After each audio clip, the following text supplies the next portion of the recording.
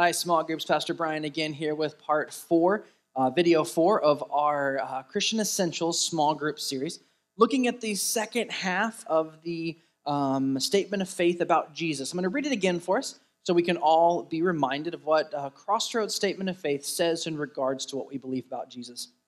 We believe in Jesus Christ, God's only Son. We believe that he is fully God and fully man, conceived by the Holy Spirit and born of the Virgin Mary.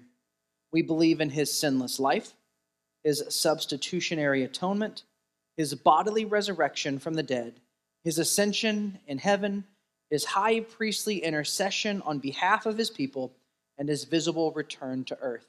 Last video, we covered our, the first three of those topics, and again, we separated those out because there's quite a few verses. Today, you'll see that there's not as many verses about each of these topics. We could go into more depth, but for time purposes, we just picked a few. So, the first topic we're going to discuss in that statement of faith was that Jesus died, not that he swooned. Um, that's a, a, a theory that people who don't believe that Jesus died and was resurrected say that Jesus swooned and that when he uh, was put into the grave, he came back. It wasn't he came back from, from death, but he came back, he revived himself. And there's so many flaws in that, I don't have time to go into it. Um, there's lots of other uh, different theories as to Jesus didn't actually die. But we have to remember is Jesus was crucified under Roman rule. And if there's one thing Rome was really, really good at, it was murdering criminals, um, executing criminals. They were very, very talented and very, very efficient.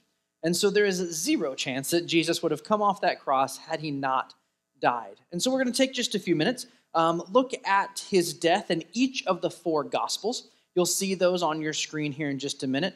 Push pause, look up those verses as a group. Again, there's one in each of the four Gospels Matthew, Mark, Luke, and John. When you've done that, push play, and you'll come to a series of questions for you as your group to discuss together. Um, I hope these discussions um, have a give and take element, have a growing in knowledge together as you discuss them. So, again, go through the verses, uh, answer those questions. When you're done, push play, and we'll be back with our next topic.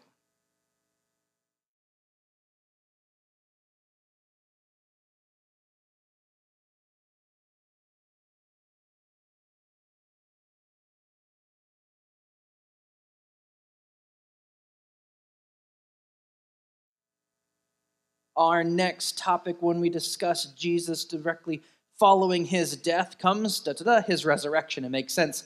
Um, this is a, a, a key, I was going to say a key component, but it's the key component to our theology. Uh, if Jesus did not rise from the dead, um, Paul says that we are, we are essentially to be mocked, that our faith means nothing.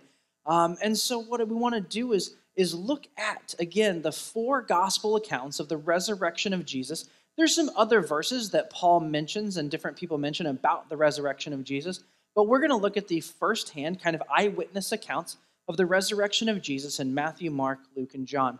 So again, you'll find those verses, uh, and their I call them the address, um, their their location in Scripture, chapter and verse. Um, look through those as a group, discuss the questions that follow, then push play, and we'll head to the next topic.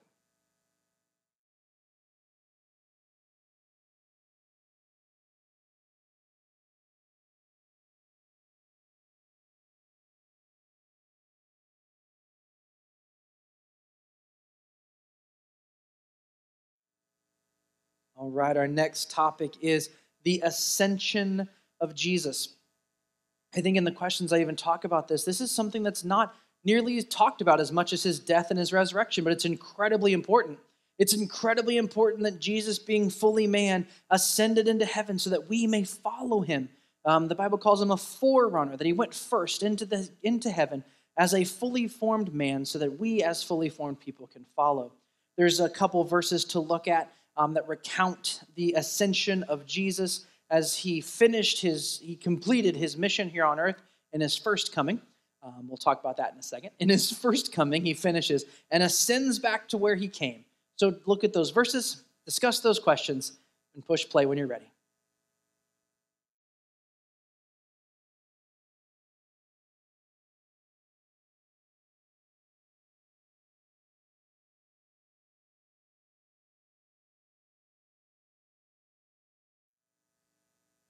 The next section in the statement of faith says that we believe in his high priestly intercessing on behalf of his people.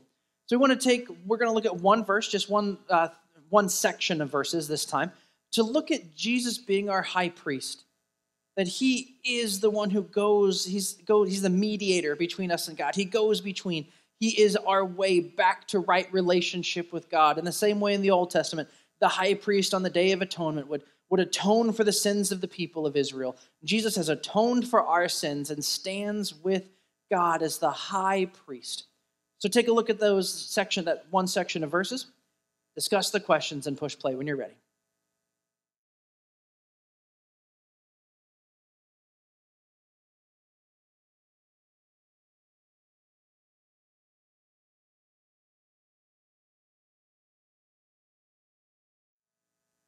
I got to be honest, small groups, the Hebrews 4 passage that you just looked up is one of my favorites. It gives me so much hope and so much peace knowing that, that the high priest who sits at the right hand of God the Father knows what it means to be human and knows what it means to struggle with all the things that you and I struggle with. And that's why the Bible can tell us that we can go boldly before the throne of grace when we need help.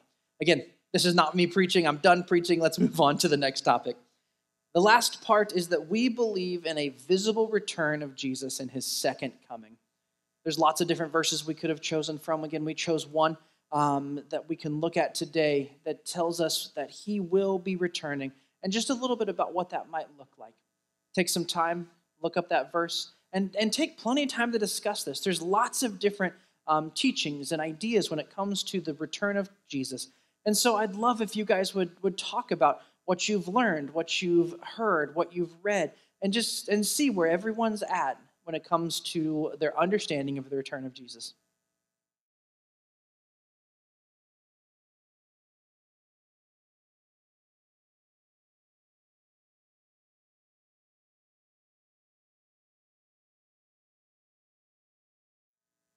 Awesome small groups. Again, I always finish with I hope that you were blessed tonight or today or whenever you guys are watching these. I hope that this video and these discussions help you and, and increase your knowledge and understanding because our goal with the Christian Essentials is that we can articulate, we can talk about and discuss why we believe what we believe.